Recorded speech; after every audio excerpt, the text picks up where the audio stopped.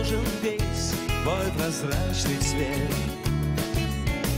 Направив вверх, где планеты парят Свой телескоп миллион карат Я тебя узнаю сразу, даже если ночь Ты будешь ярче дня. И московские туманы уплывают прочь. Раз, два, три, вот я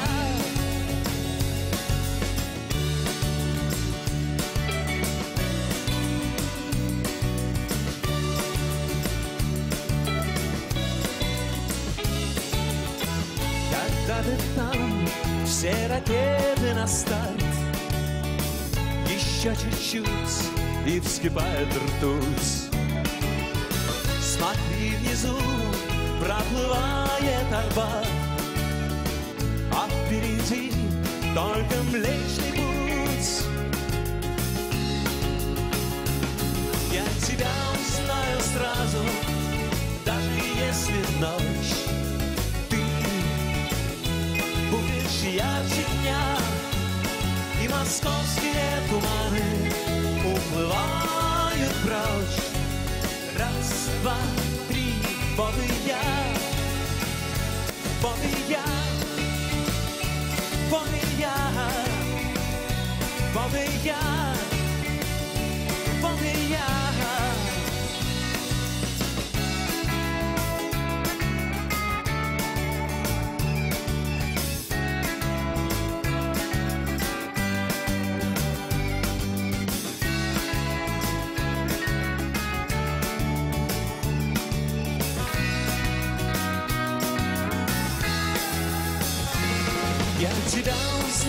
сразу, даже если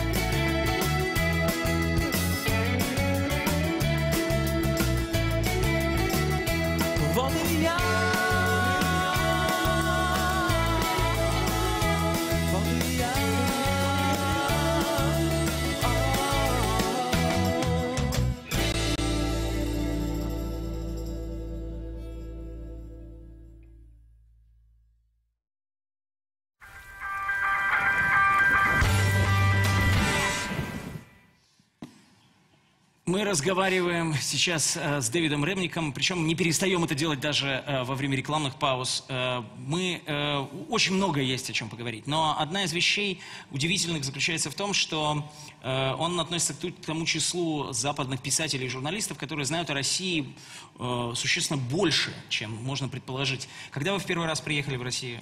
В 83-м, по-моему. В 83-м, Да, при Черненко. еще при Черненко. да? Ага.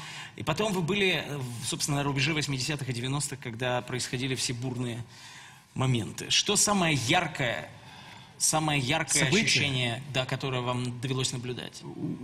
Without a doubt, the August coup of 1991. And to tell you what a genius I am, Ну, безусловно, августовский переворот 91 года. one, one week before the August coup, it was time for my wife and I to leave. И просто хочу вам рассказать о том, насколько я гениален. Как раз за неделю до этого мы с женой должны были My уезжать. time was up. И вы оба журналисты, и причем работали на разные издания. New York Times, Да. my concurrent. Вашингтон-Пост и Нью-Йорк Таймс, Да. да. And I had an interview with Alexander Nikolaevich Yakovlev, который мне сказал, что, Дэвид, я думаю, что через некоторое время будет путч.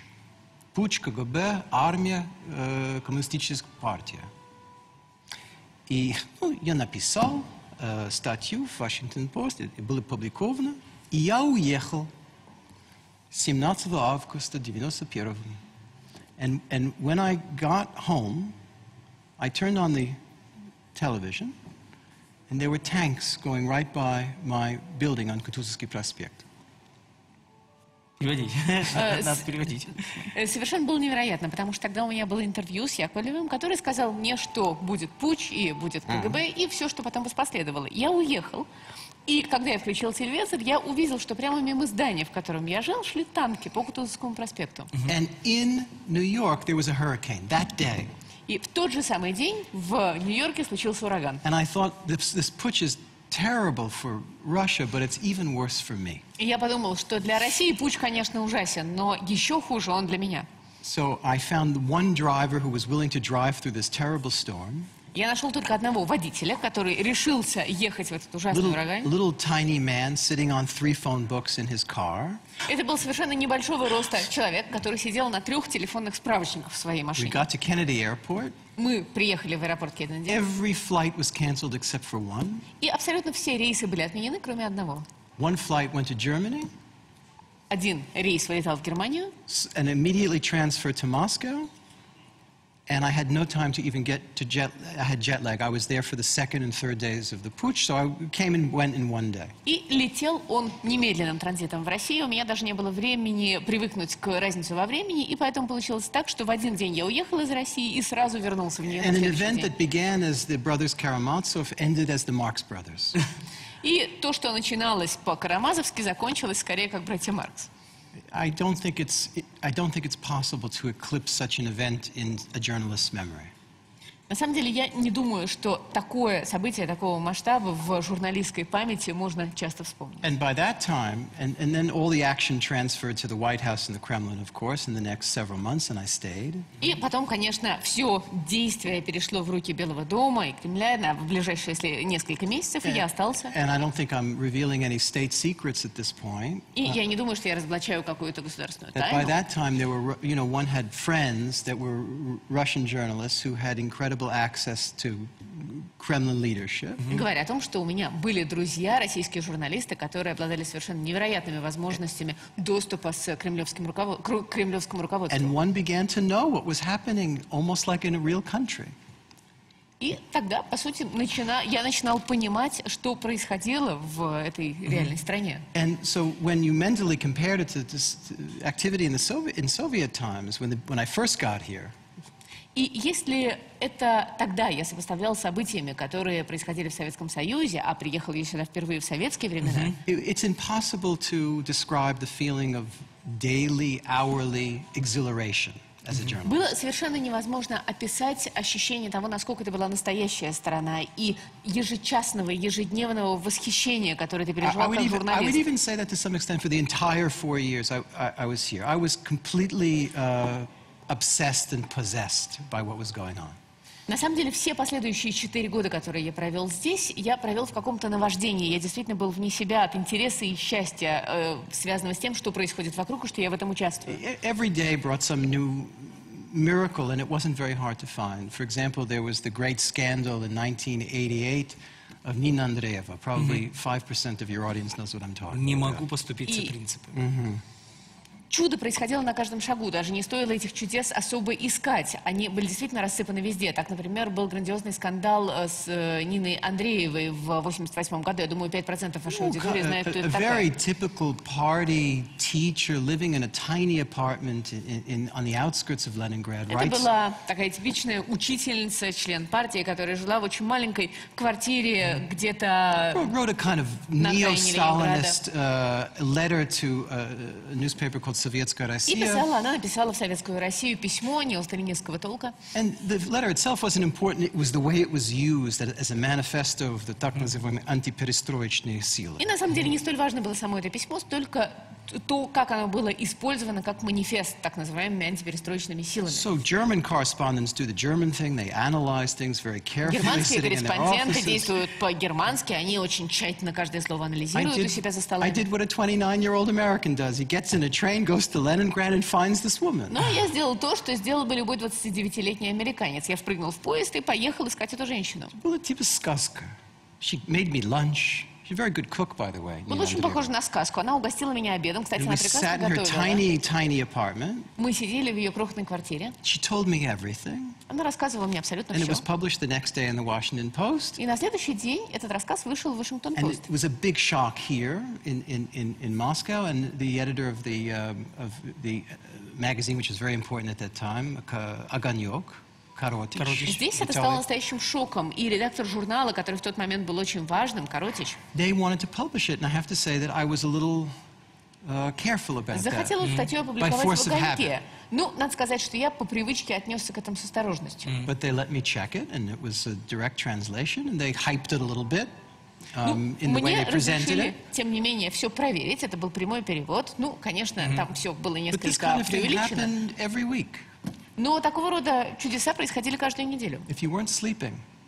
Только надо было не спать. Э, Вы э, встречались э, с очень многими великими людьми. Я хочу спросить про двух конкретно. Какое впечатление у вас осталось от, от встреч? Во-первых, а, от встречи с Бобом Диланом.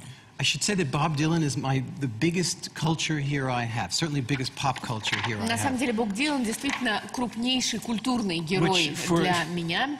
Even my hair, I, I, it was, I looked, I tried to look exactly like that when I was 15 Я years старался, old, когда мне было лет 15, во всем ему подражать, даже носил также прическу. along with every 15-year-old Jewish boy in, in the uh, entire Western world.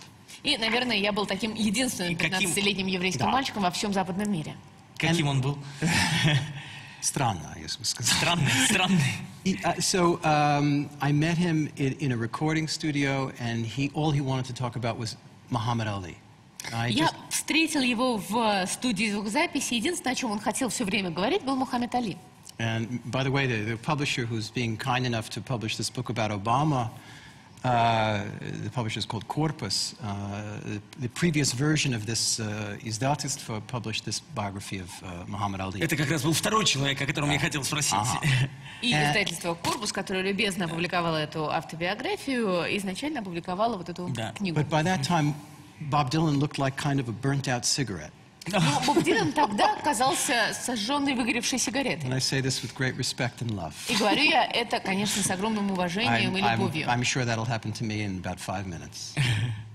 Уверен, что то же самое будет и со мной через минут пять. As, as far as uh, Ali is concerned, I met him in order to interview him for this book, but by that time he was very sick, and we sat in silence for long periods of time. С Али я встретилась для того, чтобы взять у него интервью для этой книги об Али, но он уже очень был нездоров, и мы очень долгое время просто просидели And we молча. watched fight films in order to get his reaction to famous fights with Sonny Liston and Floyd Patterson. Мы смотрели разные записи э, борьбы э, с такими известными борцами, как э, Сами Листон и э, Да. Флойд Паттерсон. Когда он стал чемпионом мира.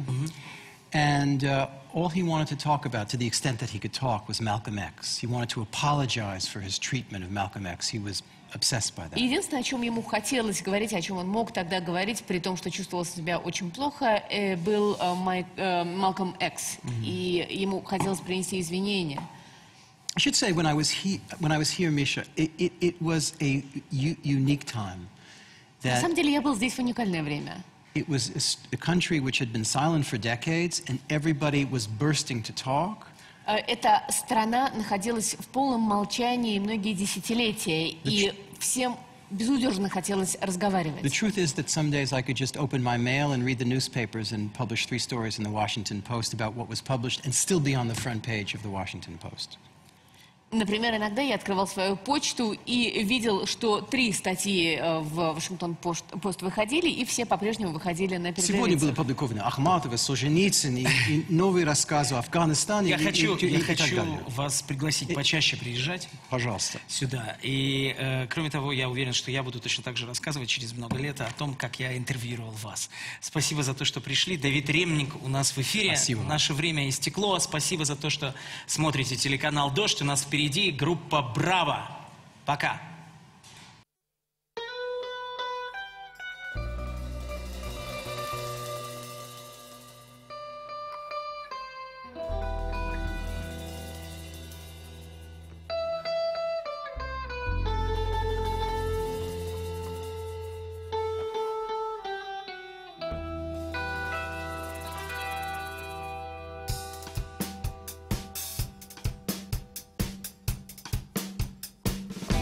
Потом будет утро,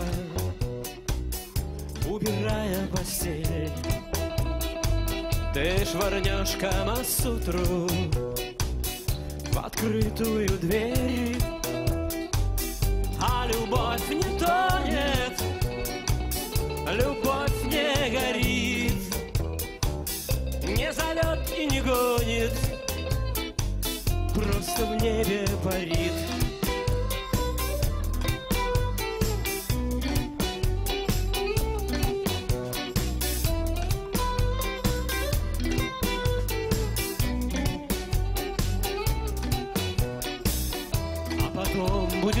Лето, и ты спрячешь глаза в линзы черного цвета.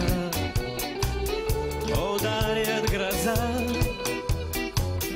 а любовь не тонет, любовь не горит, не зовет и не гонит, просто в небе парит не зовет и не гонит, просто в небе парит.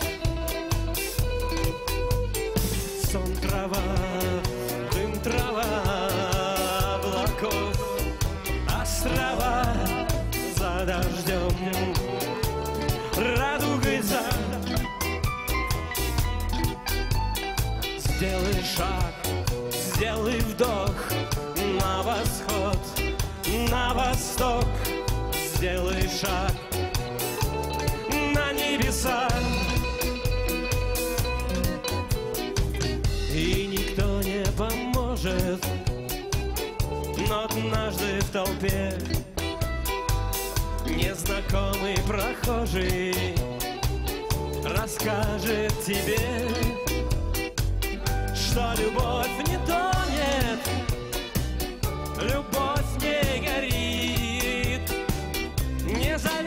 не гонит, просто в небе парит, что любовь не тонет,